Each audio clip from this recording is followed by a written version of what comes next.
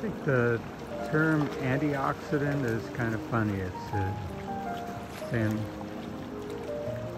what it's not or what it's against.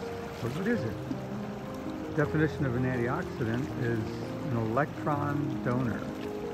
So the smallest antioxidant is an electron.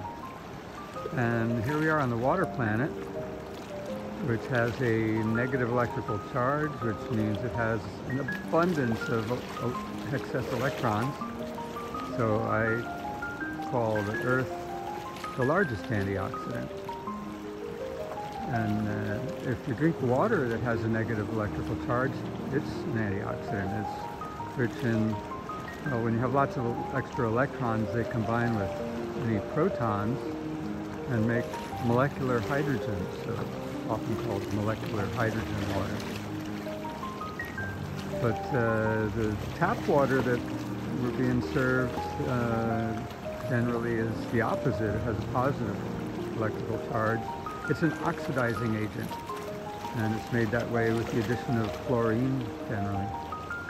So you need to unwrap that water, take the chlorine wrapper out, and and then ideally ionize it, remove excess protons, any positively charged um, extra protons, and uh, add electrons. It'll concentrate the positively charged minerals that'll balance out those electrons, and uh, it's called alkaline antioxidant water, or molecular hydrogen water. Very healthy.